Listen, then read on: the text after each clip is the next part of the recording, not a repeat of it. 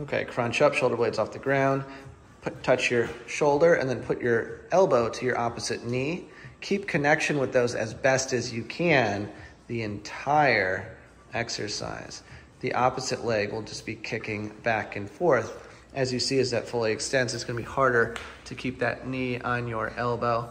You'll feel this in your core and your hip flexors.